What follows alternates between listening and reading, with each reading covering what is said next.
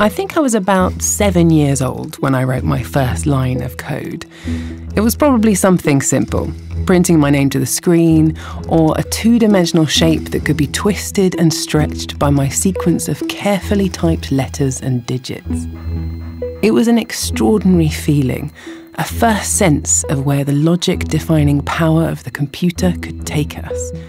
But it wasn't until much later that I started to come across the term artificial intelligence, or AI. And wow, what a world that would open up. AI holds enormous promise for the future, and I think these are incredibly exciting times to sort of be alive and working in these fields. We want to kind of understand and master uh, increasingly complex systems. AI must be built responsibly and safely and used for the benefit of everyone in society. And we have to ensure the benefits accrue to everyone. You know, I think AI can be one of the most exciting and transformative technologies we'll ever invent. That is the voice of Demis Hassabis, the CEO of DeepMind, the London based artificial intelligence company. For Demis, AI will allow us to create computer systems that can learn to solve complex problems by themselves. In his words, society could use intelligence to solve everything else cancer, climate change, language, energy. In short, to advance scientific discovery. But just how far fetched are these goals? Can researchers really crack intelligence? And just how much of an impact would that really have?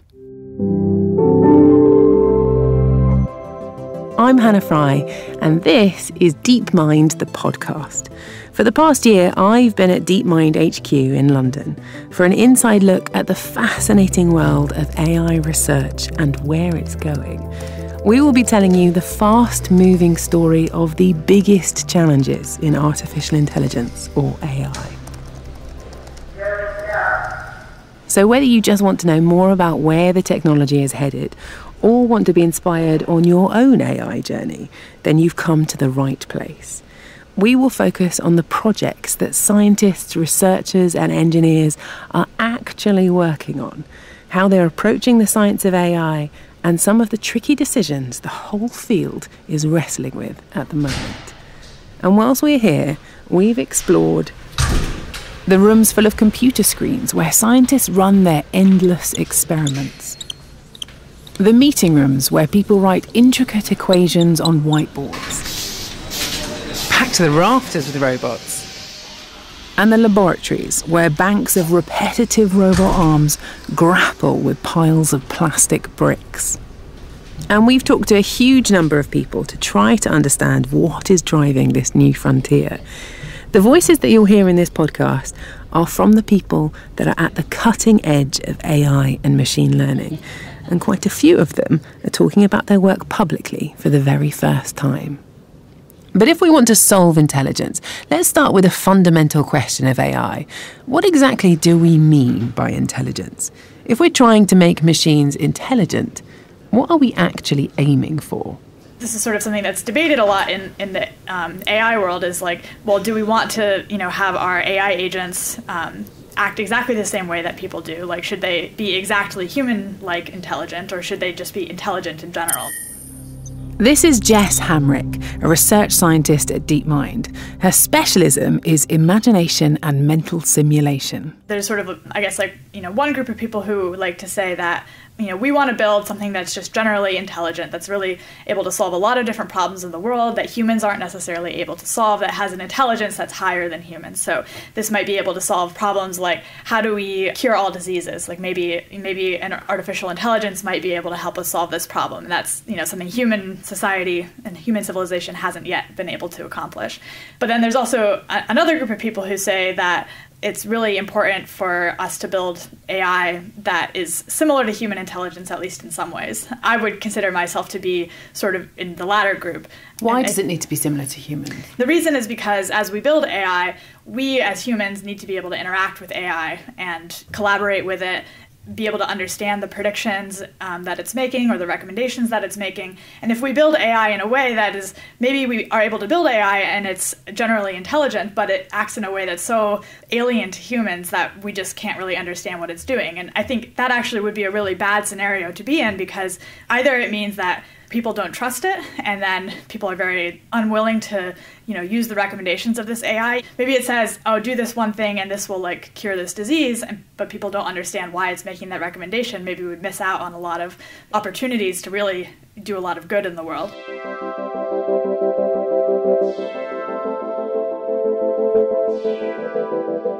We need our AI to understand the world in the same way that we do. It needs to be able to explain itself to us so we can be sure that we can trust it. Take, for instance, the story of an AI that was trained to diagnose skin cancer by looking at photographs of skin lesions taken by dermatologists. The algorithm did a good job of correctly labeling the images, but the researchers soon discovered that the AI wasn't looking at the cancer at all to make its decision. It had simply learned that lesions photographed next to a ruler are more likely to be malignant, not exactly trustworthy. It's crucially important that artificial intelligence is able to grasp the subtleties of human thought. We want it to do what we mean it to do, not just what we say we mean. But that doesn't necessarily imply it needs to think in exactly the same way as people do. There can be drawbacks to trying to imitate human or animal brains too closely. We get into discussions about where the strategy can limit you. This is Matt Botvinick.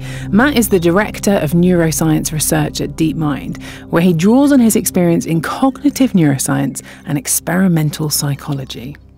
Matt believes the human mind is the inspiration, but AI research has to take things further in its own way. You know, the Wright brothers, when they solved uh, the problem of flight, you know, they, people like to say, oh, they solved the problem when they stopped trying to copy birds' wings, which, you know, in some technical way might be true, but they wouldn't have gotten to where they were, right, if they hadn't spent an awful lot of time and if other people hadn't spent an awful lot of time looking at birds' wings and noticing the airfoil pattern and thinking about the, the dynamics of the, of the air that flows around uh, an object with this shape.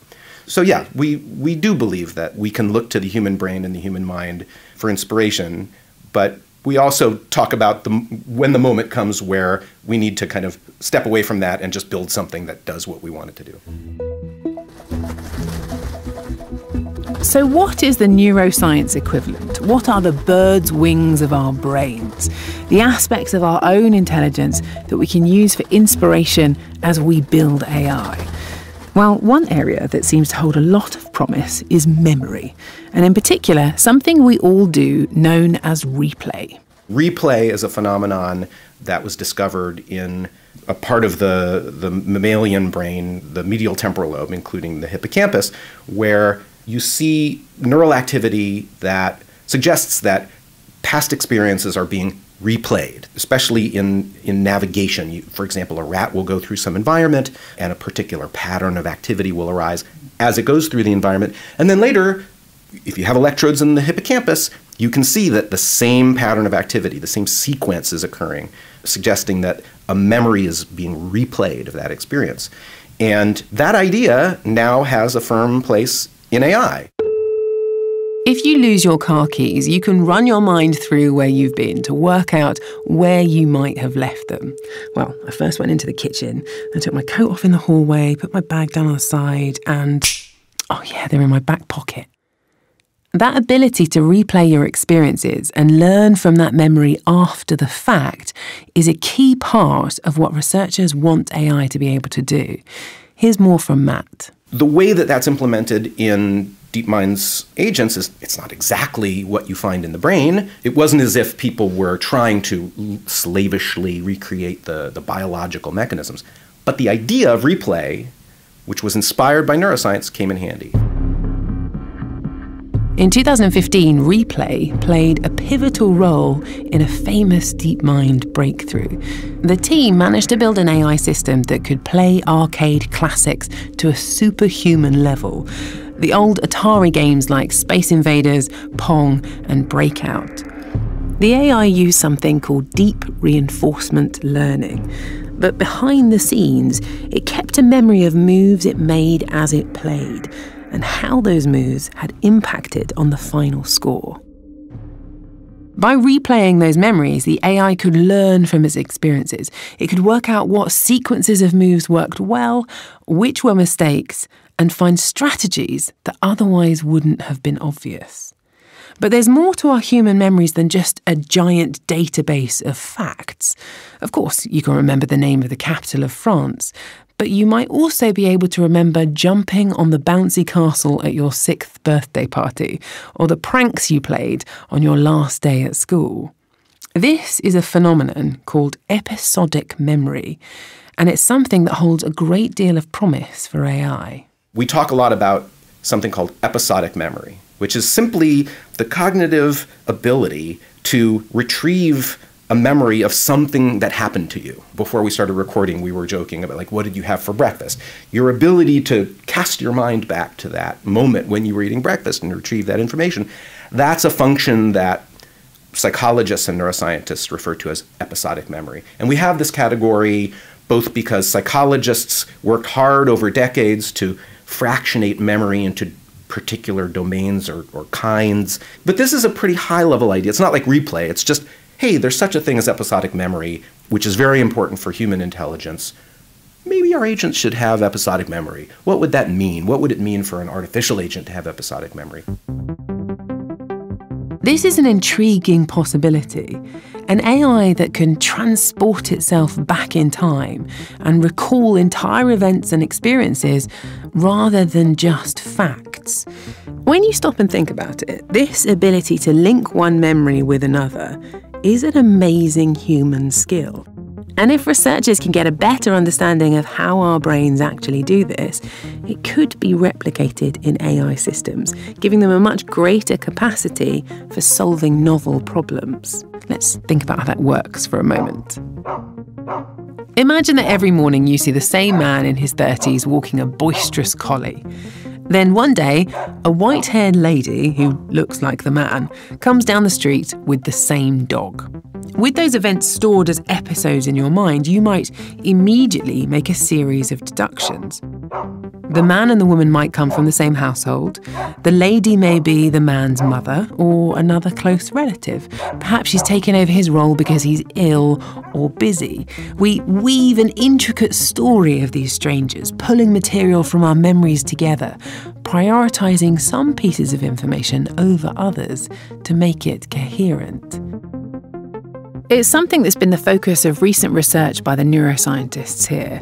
A study in September 2018 demonstrated the critical role of the hippocampus, that shrimp shaped seat of memory in the middle of the brain, in weaving together individual memories to produce new insight. Jess Hamrick is also looking at another way that AIs can be made to respond more flexibly to new situations.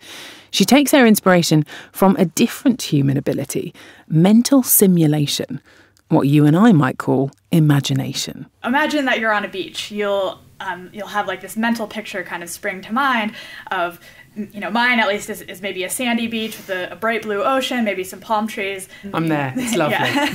and, and, so this is an example of, of what we would call mental simulation. It's like we're mentally simulating this picture of the beach. And then you can do things with that simulation. So you can imagine adding other people to your imagination. You can imagine what would happen if you like threw a ball, if you were playing volleyball or something like that. So these, these sort of mental simulations are really interactive and really rich. And I think that they underlie a lot of our human ability to understand the world and make predictions about the world.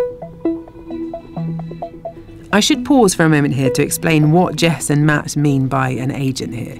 It's a word that's used a lot at DeepMind. Remember, when people are talking about artificial intelligence, they're really just talking about computer code with the freedom to make its own decisions. And an agent is just the noun that they use to describe the part of that code that has agency. Jess is hoping to build agents that are flexible enough to adapt to all manner of environments. It's a very grand ambition, but one with real potential. To see why, let's go back to the arcade and that game of Space Invaders, mastered using deep reinforcement learning to create an agent called Deep Q Network, or DQN. DQN was really sort of an amazing technological feat because it was able to be trained to play many, many different Atari games directly from perception from pixels. And this is something that hadn't been done before. But the way that DQN also works is that it, it really just goes directly from inputs to outputs. So it takes in the image of the video game and it outputs immediately what action should be taken to maximize the score in that game. So maybe it's move left, maybe it's, you know, um, push the trigger to shoot. All of these actions are being taken just to maximize that that score. And the agent doesn't know why that action is good. It only knows this action will give me a higher score. And so the agent isn't able to really do anything else besides that. You can't ask the agent to say, hide behind one of the pillars until that pillar is destroyed, or destroy all of the incoming space invaders in one line and none of the other space invaders. So these are all kinds of like different tasks that you could give a human and, and they may be a little bit weird, but humans would understand what, what it means to do this. And that's because humans have this ability for mental simulation to imagine what will happen if they take different actions. And so by giving our agents the ability to imagine things and, and also plan according to different tasks that it might be given, they're able to act more flexibly and, and deal with these sort of novel situations.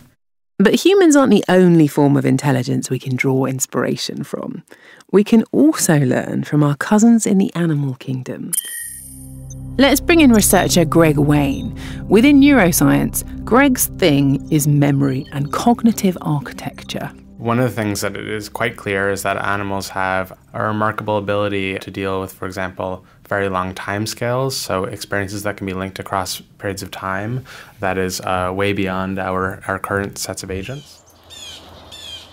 The great example, I think, is the scrub jay, the western scrub jay.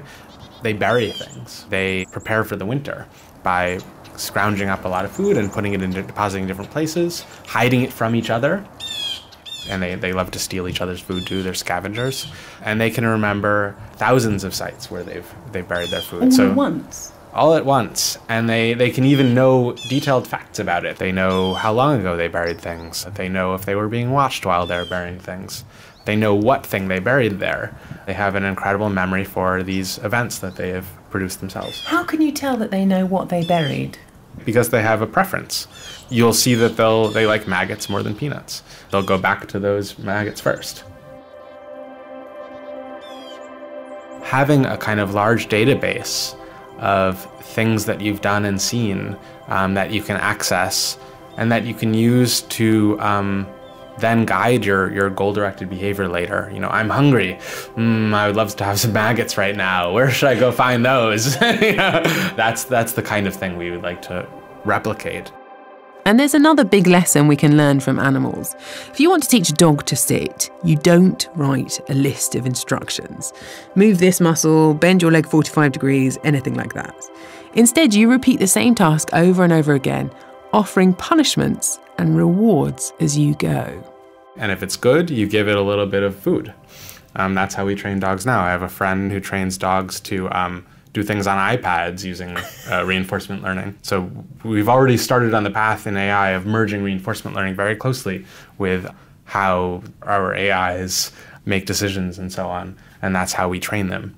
So you're essentially training an artificial intelligence, an AI, in the same way that you might train a dog, rewarding them for good behavior, ignoring bad behavior. Very that's nice. Right. But okay, how do you treat an AI? What does it mean to reward something that isn't interested in doggy biscuits? Here's Demis Hassabis. Well, with artificial systems, all they really care about is ones and zeros. So you can construct artificial reward mechanisms for almost anything. We've now moved away from programming the system solution, so it now learns for itself, to now going up a meta level. So now what we're really programming or designing is reward systems. So it's kind of interesting that that now is becoming the difficult part. Is like how do you design curricula? How do you design breadcrumb trails of rewards so that eventually they learn the right things? These systems.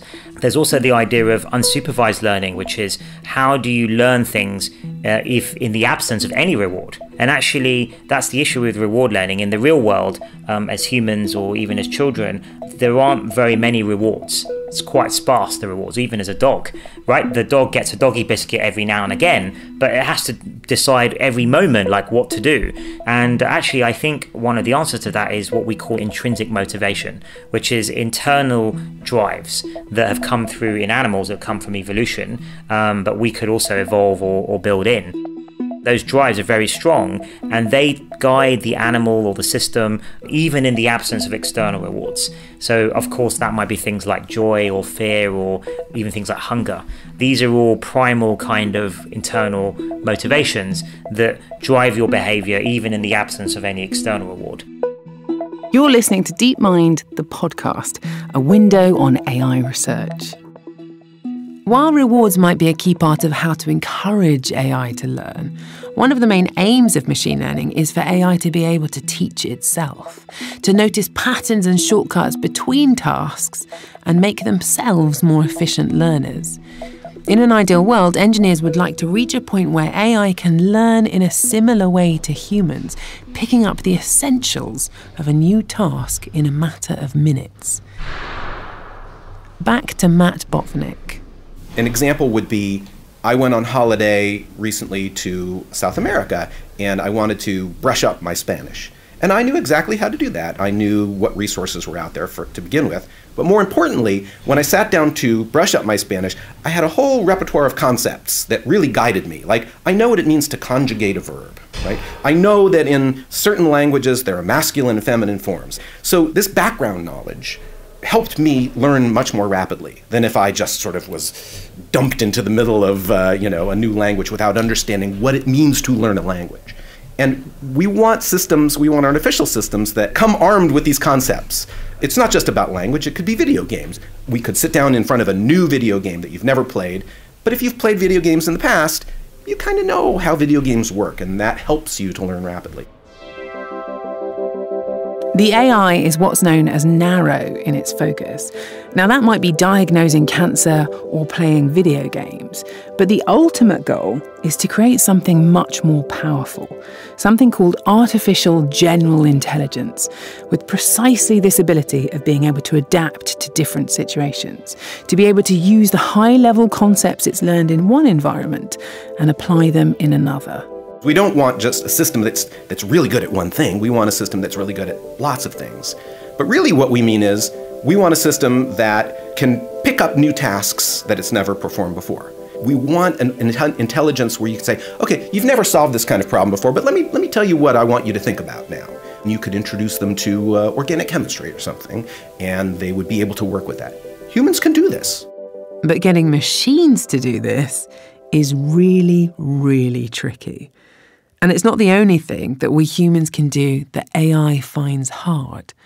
Greg spends a lot of his time trying to understand the detailed mental processes behind apparently simple human tasks. You have breakfast and you drink your orange juice and you run out.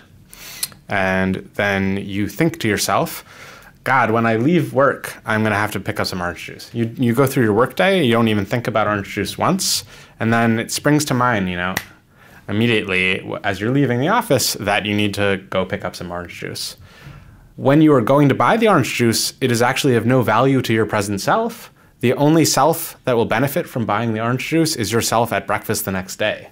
So you actually have to do something that is uh, incredibly prospective or thinking forward, thinking about the context of your future self. So this um, is something that I mean, people here really sit around and sort of talk about and try and work out what is it about your brain that reminds you to buy orange juice at the right moment. Yes, because you can easily construct um, virtual environments with tasks for agents that we normally have that have properties like this, like thinking minutes or hours ahead or remembering something from hours ago that our normal agents completely stumble on. They cannot do. Why is that? They seem easy. it seems easy to buy orange juice. There's a theme emerging here. Back in the 1980s, Hans Moravec and his colleagues pointed out that when it comes to artificial intelligence, everything is a little bit upside down. While the things that humans find tough, like maths and chess and data crunching, require very little computation, the things that we humans manage without even thinking turn out to be monumentally difficult for machines. It's a phenomenon that has become known as Moravec's paradox. Like other neuroscientists and psychologists here, I, I find myself thinking about stuff that seems really simple, stuff that I do and other people do really without thinking about it, and it just doesn't seem that big a deal. But it turns out to be those some of those things turn out to be very difficult to engineer into artificial systems. So picking things up, putting things down, planning a route through a building, things that we can just do without really much mental effort sometimes prove to be quite difficult to engineer. An example of this just came up as we walked into this room. We all realized that it was quite stuffy in here and that we wanted to try to cool it down. So we all huddled around the thermostat and tried to figure out how to get it to do what we wanted, and it seemed to be resistant. And at some moment, I thought, wait a minute, maybe maybe the air conditioning's just broken. And again, that seems like a super simple thing. Like, you know, what's such a big deal about that? But actually, in AI research, we have a name for this, which is latent state inference. We're trying to infer some aspect of what's going on, which is latent or hidden. And it turns out, in order to do that seemingly simple thing, you need a very rich model of the world. You need to understand air conditioners and uh, thermostats and what it means to be broken and what's the probability that it's broken and so forth. Moravec's paradox is often talked about as some kind of profound mystery. It's used as evidence that while the jobs of analysts and lawyers might be at risk in an age of AI, gardeners, receptionists, and cooks are secure in their careers for decades to come. But DeepMind's founder, Demis Hassabis, has quite a different take. I think it's quite obvious. There's actually a simple explanation for it. When uh, Moravec was doing AI, the dominant paradigm was expert systems, so handcrafting solutions directly to AI problems. Think of it as building big databases of rules. Of course, if you're going to do that, that in itself is a very explicit task programming that out. You know, you have to know exactly what you want to write and what rules you want to in- incorporate. And what that means is the only tasks you can do that with are the ones that you explicitly know how to do as humans yourself. And that's things like that are logical based, like maths and chess. So weirdly, the things that we do intuitively ourselves and effortlessly, like walking and seeing and you know all of these sort of sensory motor skills seems effortless to us and the reason is is because there's actually huge amounts of brain processing going into that it's just that it's subconscious it's areas of the brain we don't have conscious access to. We probably knew less about neuroscience at the time, so we didn't realize quite how much processing goes on in the visual cortex, for example. And so now we know both of those things. We know how the brain works better, and we've built learning systems like AlphaZero and AlphaGo. So it turns out actually vision is not any more difficult, really, than playing Go. It's similar if you approach it in the same way. It's almost impossible to reverse engineer our unconscious skills using the old methods of handcrafted programming. You have to have a total and complete conscious understanding of how something worked before you could ask a computer to replicate it. But now that machines are just beginning to mimic our subconscious processes, like vision and pattern recognition, there's no reason why Moravec's paradox needs to necessarily be a barrier in the future.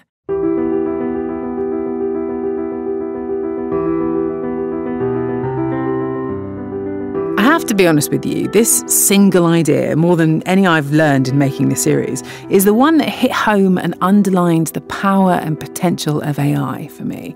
All that we've managed so far, in everything that we've created with machines, are only the things that we consciously know how to order them to perform. We're only just at the very beginning of artificially mimicking our subconscious processes, too. And that means that there is an extremely exciting journey ahead. But this partnership of studying neuroscience and artificial intelligence alongside one another doesn't just help make our AI better. Here's Matt Botvinick and Jess Hamrick again to explain. We often talk here about the virtuous cycle, the opposite of a vicious cycle, right? There's a virtuous cycle between AI and neuroscience where neuroscience helps AI along and then AI like returns the favor. One of the reasons why we can get this virtuous cycle between neuroscience and cognitive science and AI is because fundamentally we're all trying to study the same thing, which is intelligence. And so if we ask sort of these more abstract questions about what should an intelligent system do in this situation, we can ask that about humans. What would a person do in this situation and try to come up with an answer? We could ask what should our AI agent do in this situation and, and try to come up with an answer. Or if we have an answer already in one of those fields, we can take the solution and apply it to one of the other fields. And that, I think that's sort of really what enables this this ability to, to transfer between the different fields.